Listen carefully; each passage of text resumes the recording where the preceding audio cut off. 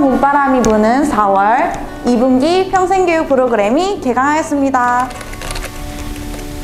코로나 상황에서도 저희를 믿고 비대면 수업에 참여해주신 어르신들께 깊이 감사드립니다. 어르신들의 열정에 힘입어 보다 더 유익한 평생교육 프로그램을 제공하는 성동 노인종합복지관이 되겠습니다. 환영합니다.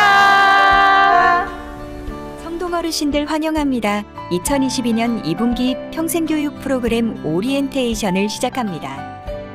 2022년도 평생교육 프로그램 구성 방향은 크게 세 가지로 볼 수 있습니다.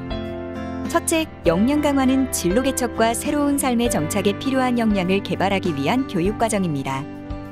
둘째, 자기 이해는 주체적인 삶의 전환을 위해 스스로 성찰하며 인생 비전을 설계하는 교육 과정입니다.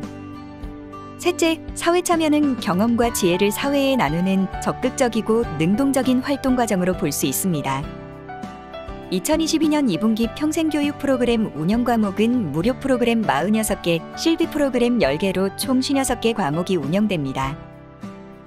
2022년 1분기와 비교했을 때 2분기에 달라진 것이 있다면 어떤 것일까요? 첫째, 소강 인원의 증가입니다. 비대면 실시간 화상 수업 진행 시에는 대기자분들도 청강이 가능합니다. 둘째, 신규 과목 증가입니다. 중국어, 나도 바리스타 등 재미있고 즐거운 프로그램으로 구성하였습니다.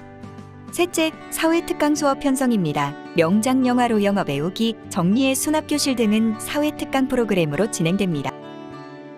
교재는 어떻게 구입할 수 있나요?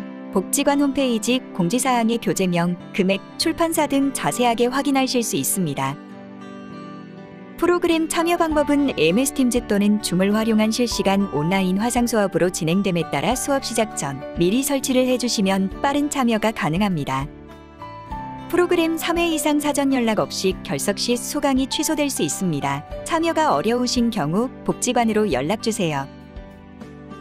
프로그램별 특성 및 운영 파악과 수강 회원들의 개별적인 의견 사항 반영, 다음 분기 프로그램 계획을 위한 어르신들의 욕구 반영을 위해 개강 후 4주 뒤 모니터링이 진행되니 어르신들의 많은 참여와 관심 부탁드립니다. 어르신들의 활기차고 행복한 노년을 위해 언제나 최선을 다하는 성동로 인종합 복지관이 되겠습니다. 감사합니다.